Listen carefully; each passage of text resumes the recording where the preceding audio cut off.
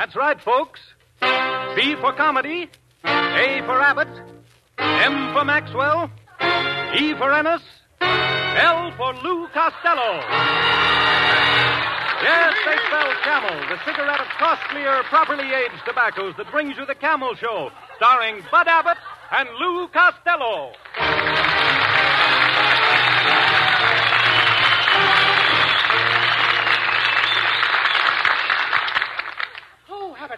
Abbott. My own bosom friend. Hi, Abbott. Well, aren't you going to say hello? Abbott, don't you remember me? Lou Costello, the Walter Pidgeon of Redondo Beach. Gee, it's good to be back together again. If you only knew how I missed you, Abbott, how I've starved for the sight of you. Turn around. Let my eyes feast upon you. Gee, the food's bad all over, ain't it? oh, Abbott, if you only knew how miserable I was all summer. I was sick. I had athlete's throat. I swallowed my swimming trunks. Oh, with the belt in the back, too. Hey, some nights, Abbott, I was very lonely. The nurse had to put me to bed. Then she'd get lonely.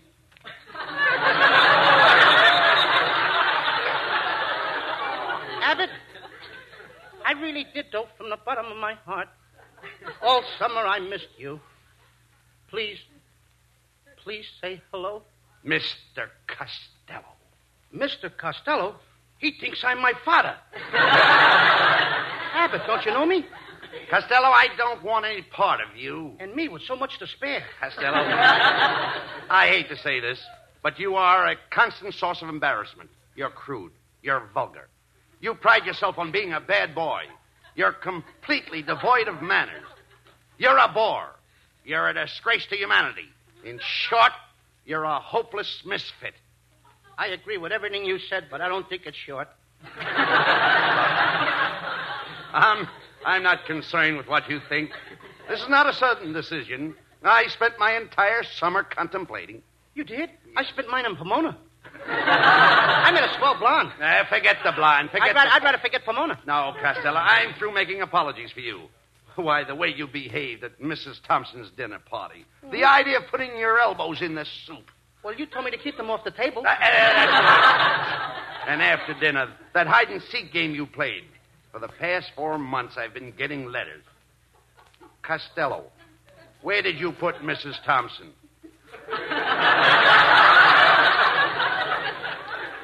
You think I'm going to tell and lose the game? Besides, I didn't like those society people. That scavenger hunt. They brought me back four times before I could prove I wasn't a Quonset hut. You don't belong with society people. Of all things, talking about having your tonsils removed at the dinner table. I didn't bring up the subject of operations. I didn't. Mrs. Thompson did. She did. Yes, she told me she had her alimony cut off. I...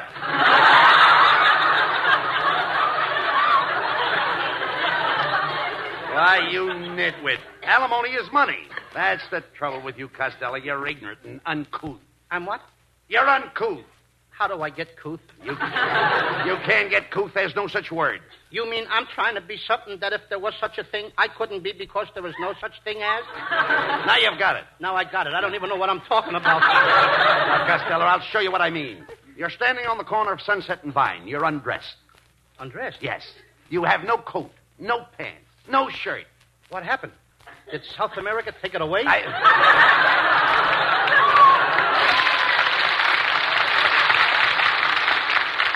Oh, I'm just giving you an example. You're standing on the corner of Sunset and Vine undressed. You're uncouth. So I put on my pants and I'm couth. There, there, there's no such word. Okay, I'll put the pants again. Hey, look. Let's try another example. Now you're well dressed. My horse came in? Yes. No, no, no, no, no. You're the picture of elegance. Your clothes are pressed. Your shoes are shined. And your hair is combed. In short, you are immaculate. You just said in shorts I'm uncouth. No, no, no. Costello, will you please drop the shorts? Not in October. Hey, look. It's cold. Look, look, look, look, look, look, look. I just told you you were well dressed. Immaculate. Now you take your clothes off. What are you? Immaculate. And listen, there is no such word. Uh, couth. Uh, no, No such, such word. word. No, no, no. let's try it. Now, please, don't mock. Now, let's try it once more. Go ahead. Now, you're fully dressed. You're attired. Gotcha. Now, your clothes are off. What are you? No such word. Uh, yes, there is. What is it? Retired? No. Retread? No. Uncouth? Immaculate? Uh, no, no, no, no, no. No, no? No, no. You're a fine pal. Here you got me standing out on the street in my shorts. Hand me my bathrobe, Abbott, quick. Why? Here come a couple of girls I know. Uh, there you go. Always of those silly jokes. Oh, I wish my hands of the whole thing. Goodbye. Please, Abbott, don't wash your hands. I'll behave. Uh, all right. Now, over there, over there is Skinny Ennis. Skinny. Yeah. I sure like the way the skin is arranged. That's. You're looking at Marilyn Maxwell. I still like the way the skin is arranged. Listen to me, Costello. That's Skinny Ennis over there. He's the band leader. What happened to Vaughn Monroe? You know, the band leader that was on the air all summer for Camels? Well, the Camel people are giving him a show of his own. And we had to settle for Ennis? Now, listen. Don't put it that way. Mr. Ennis happens to be a gentleman of the old South and a fine musician. Oh, what does he play? The claghorn? I, I, uh, That's a joke, Abbott! quiet, quiet. Keep the jokes to yourself. With that remark, my friend, you don't meet him. Oh, please, Abbott. I promise I won't embarrass you anymore. You promise me? I promise. Oh, all right. But remember, one crack out of you and it's all over. Oh, uh, Mr. Ennis, Yes, Mr. Abbott. I want you to meet a very dear friend of mine, uh, Lou Costello. Costello, this is Skinny Ennis. Can't believe it. What? I knew there was a meat shortage, but I didn't think it was this bad. Costello! Oh, I forgot. Mr. Ennis, what I meant to say was, you don't look like you got much meat. And, brother, you look like you got all of it. Oh, comedian, huh? You think you're funny? Yes, I become a comedian. When I first started telling jokes, people had faith in me. Then along came hope.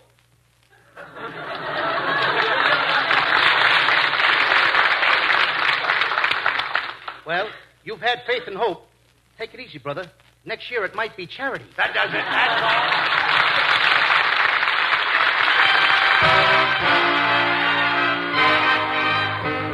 Camel's own Skinny Ennis and the orchestra. The song Five Minutes More. Give me five minutes more, only five minutes more. Let me stay, let me stay in your arms. Here am I begging for only five minutes more, only five minutes more of your charm. All week long I dreamed about our Saturday days. Don't you know that Sunday morning you can sleep late?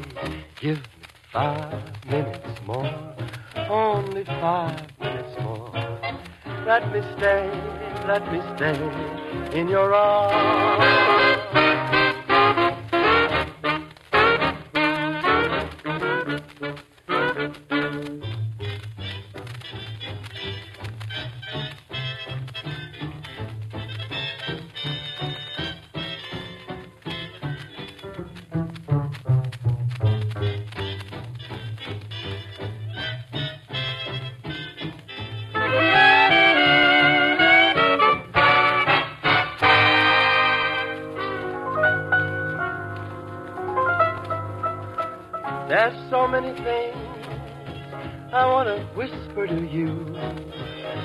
Could stay like this until the milkman's in view.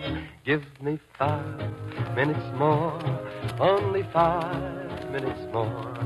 Let me stay, let me stay in your arms.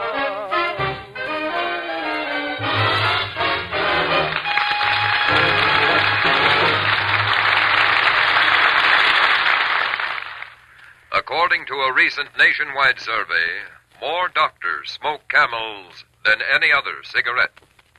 That was a survey conducted by three leading independent research organizations. Doctors in every state of the Union, from Maine to California, were included. Doctors in every branch of medicine were asked this question What cigarette do you smoke, doctor? 113,597 doctors were reached. When the replies came in, the brand named most was Camel. Yes, rich, full flavored, cool, mild camels. Made of costlier tobaccos, blended with Camel's traditional know how. Of course, doctors are no different from anyone else in that they smoke for pleasure. For the same reason, More people smoke camels today than ever before in the history of this famous cigarette. For your own smoking pleasure, make your next cigarette a camel.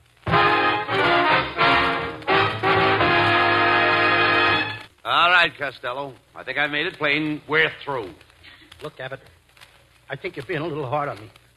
Maybe I am all the things you say, but it's not all my fault. It isn't. No. After all, I didn't have much of a home life. Mine was a tragic youth. Well, I didn't know that, Lou. As a matter of fact, I was born in a corset shop, and it was terrible. For three days, they didn't know whether I was going to be a boy or a girdle. Now, look, Costello, if you're going to kid about this. Remember, if you're going to kid about this, I I refuse to listen. But I didn't get a real mother's love and care. You see, Mother worked. She was a lion tamer in a circus. Gee, I can see her now standing there in her red Satan tights. Tights. She was. She Uh, was wait, wait a minute. Wait, she was, Costello. was- You, you mean satin tights. Satan is something that looks like the devil. You should have seen my mother in those. Costello, I, I'm deeply touched. I can see what a void there was in your life. To Oh, be what? left alone every night. Oh, no, I wasn't left alone, Abbott. We used to have a sitter come in. Cost us 50 cents an hour. 35 for her and 15 cents for my father. Fifteen for your, fifteen for your father. Mm-hmm. She used to sit on his lap. Her name was Bridget. She was an Irish sitter.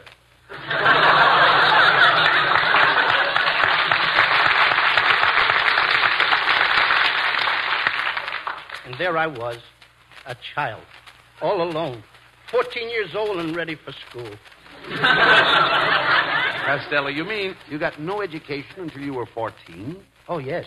I used to watch father with the sitter. And then.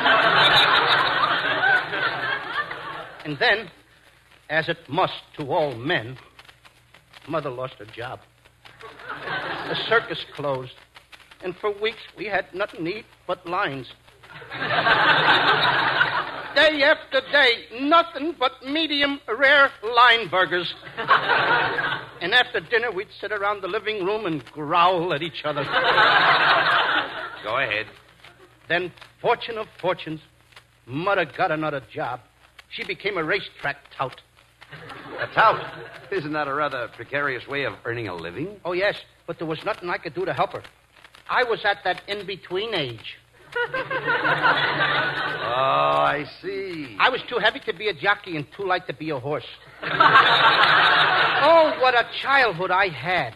Uh, Costello, I'm very uh, sympathetic, but nevertheless, other men have overcome greater handicaps. Take one of our great presidents, Abraham Lincoln, for instance. A fine man, Abbott. Indeed, he was, especially when you realize that the man who grew up to be president of these United States was born and raised in a crude log cabin without any of the modern convenience that we have today.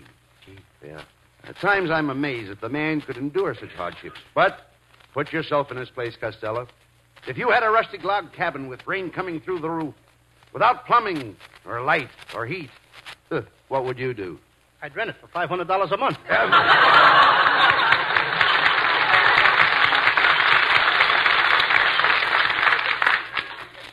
sir. Yeah. Small bonus, no pets, no relatives. No, yes, I am. You're impossible.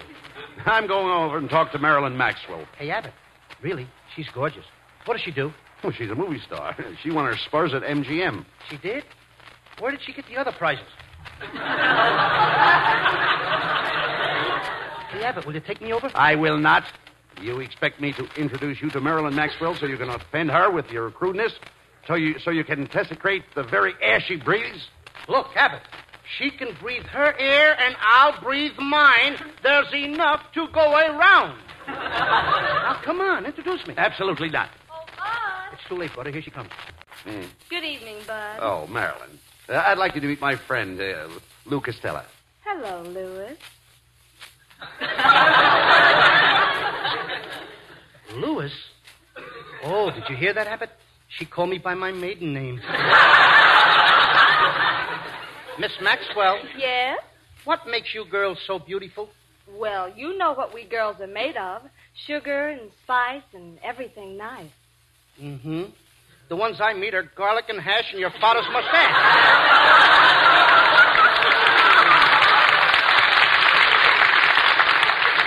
Costello, behave yourself. I'm sorry.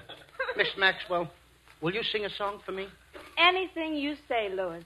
I want you to think of me as your friend. In fact, I want to be a big sister to you. Sing the song. We'll figure out the family relationship later. Come on, Costello.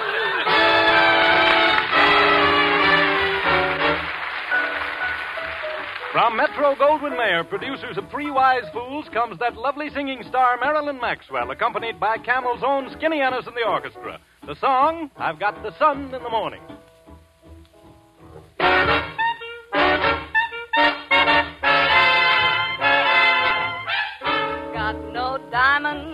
No pearl. Still, I think I'm a lucky girl. I got the sun in the morning and the moon at night.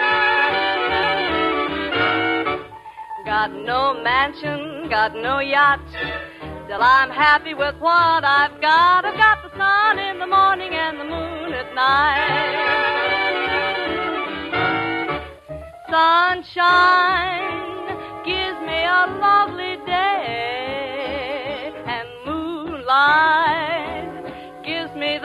Milky Way.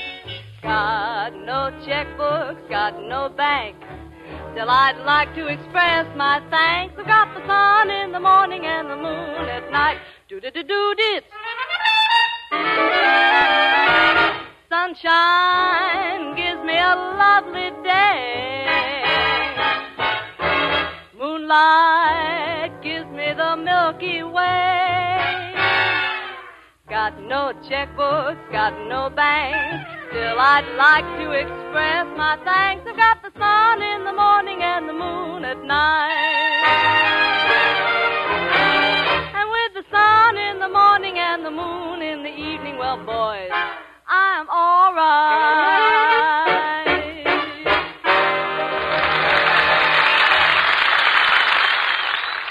113,597 is a mighty big number, but that's the number of doctors questioned in the recent nationwide survey of doctors' cigarette preferences.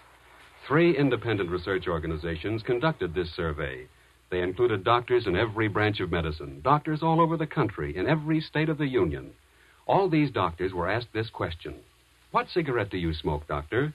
And the brand named most was Camel. Yes, rich, full flavored, cool, mild camels. If you smoke camels yourself, you'll understand this preference. If you're not a camel smoker now, try camels on your T zone. That's T for taste and T for throat, the true proving ground for any cigarette.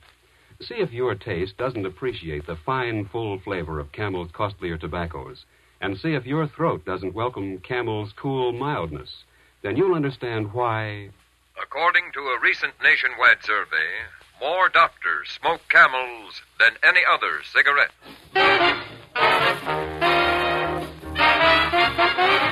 All right, never mind the but arguments. please. Enough is enough. No, that's please, all. please, Abbott, please listen. Nothing doing. You've insulted all my friends. Now, go on being a bad boy, but you'll do it ag- alone, not with me, Costello. You're incorrigible. Goodbye. Just a minute, Abbott. There's no such word. Abbott! Abbott! Oh, Mr. Ennis, Yes, Costello?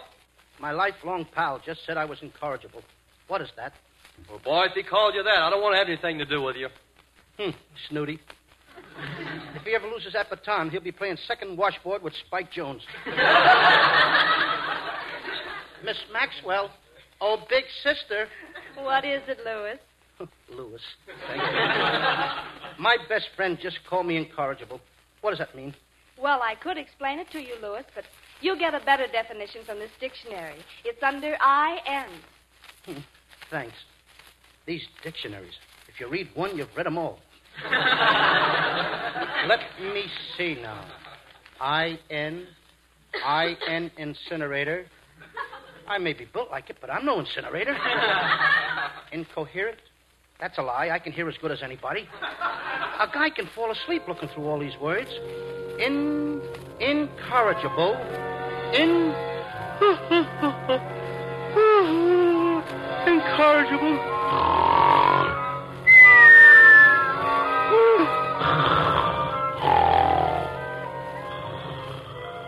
Lou Costello.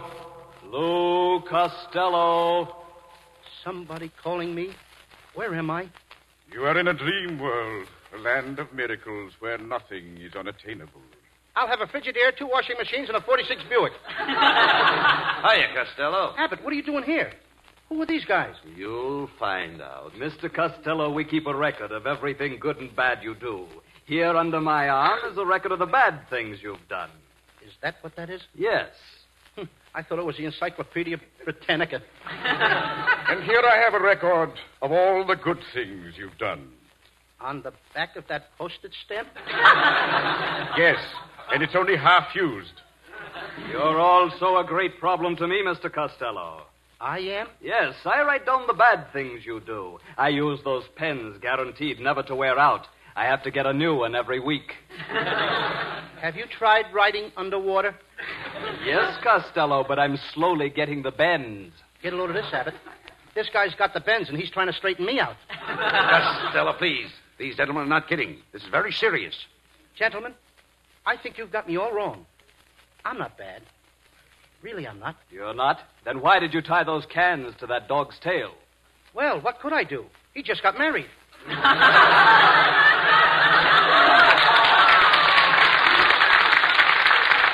And do you deny that on Saturday you stuffed a cop down a sewer? I deny that. It was Saturday. Mr. Abbott, would you get me another pen? Yes, sir. Hey, wait a minute. How do I know you boys marked down everything in the right column? What do you mean? Well, you got the night I kept Callahan out till five in the morning? Yes, right here on the bad. Oh, no, that was good. His wife was waiting for him with a baseball bat. We'll change that. And did you mark down the night on the Sunset bus I gave my lady, uh, my lady, my seat? Yes, yes, that was good. No, that was bad. I was driving the bus. I'll make the change. Gee, I'd like to fill up that postage stamp. You write awfully small, don't you? Well, I'll read it. It says good deeds was born, period. Go on. I have the next 24 years. Abbott, don't stand there like that. You gotta help me. Say something good about me. All right, gentlemen.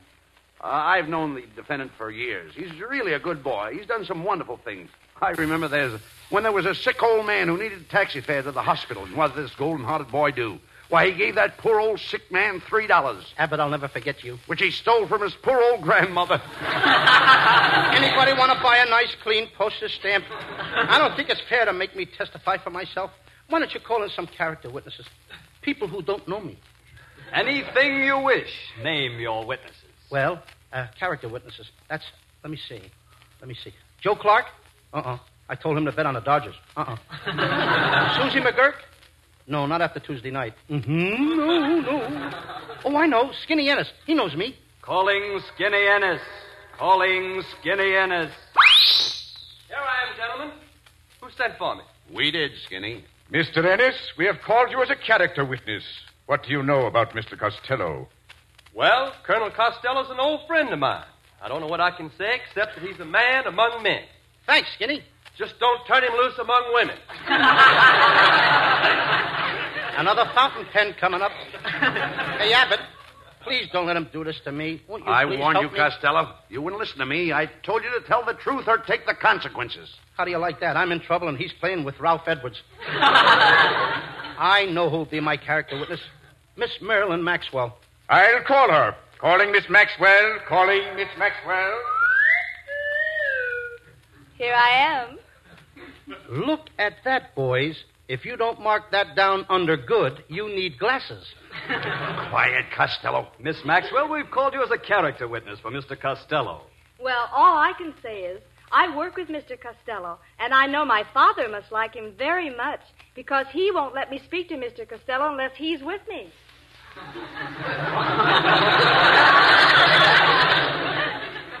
Miss Maxwell, what does your father do? Well, at present, he's unemployed. Starting tomorrow, you're helping him. Next contestant. Thank you, Miss Maxwell. You may return to the world of reality.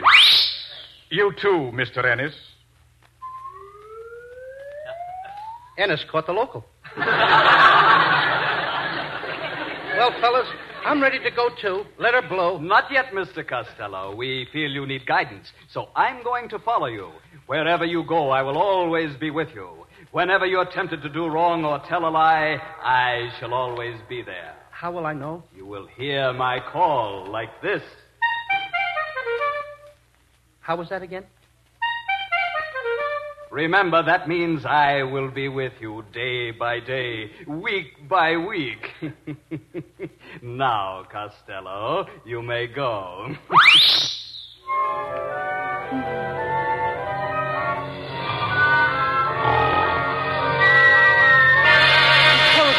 Incorrigible, incorrigible, incorrigible. Abbott, Abbott. Oh, stop it. Stop yelling, Costello. Where am I? You fell asleep in that chair. Oh, Abbott, I had the most awful dream. I met two guys who were keeping a record of my life. Who were they? Well, one kept the good records. And the other? I couldn't see him. He was writing underwater all the time. oh, Abbott, I've had my lesson. You're so right. I'm through being bad. From now on, I'm a changed boy. Well, I'm happy to hear that, Costello. I'm proud of you. I'm going to make you prouder. I'll show you I'm a gentleman. Oh, Miss Maxwell, What is it, Louis? may I have the pleasure of taking you home tonight?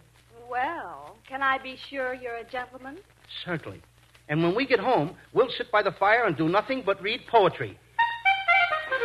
Take to the hills, boys! The dam has broken! Get out, everybody!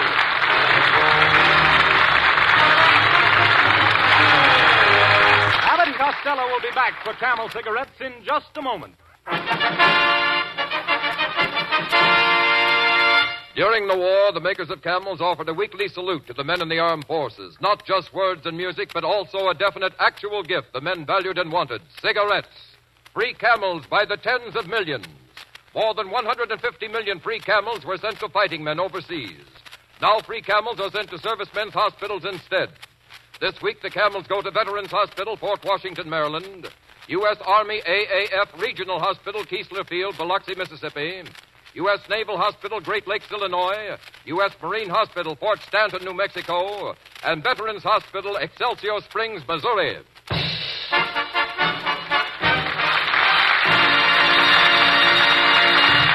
Camel broadcasts go out to the United States twice a week, a rebroadcast to practically every area in the world where our men are still stationed, and to our good neighbors in Central and South America. And now here are Bud Abbott and Lou Costello with a final word. Well, Costello, since you're going to change, I'm going to be your pal again. Gee, thanks, Abbott. Uh, what are you doing later? What I do after every show. I'm going to the Mocambo and have some pheasant under glass. I'm going to the Brown Derby for some cream turkey. I'm going to the drive-in for some meatballs. I've got a stomach ache. Good night, Abbott. Good night, folks. Good night, everyone.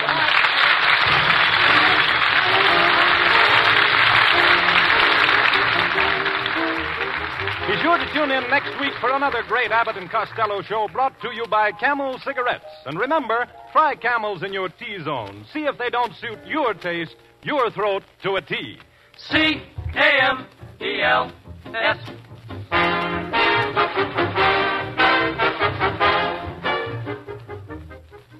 Every pipe smoker enjoys good, rich, full flavored tobacco, but he likes his tobacco to burn cool and mild, too. That's probably why more pipes smoke Prince Albert than any other tobacco in the world. Prince Albert gives you rich, full, fine flavor because it's made of choice ripe tobacco, and it's mild and easy on your tongue because it's specially treated to make it so.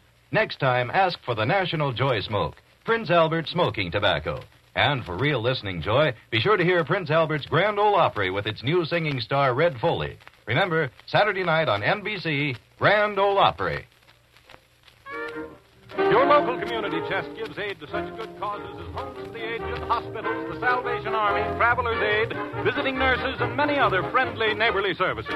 You can best help support these many services by giving generously to the community chest in your city. Everybody gives to the community chest, everybody benefits. This is Jim Doyle in Hollywood reminding you to listen again next This is NBC, Thursday the National Broadcasting Company. For Camel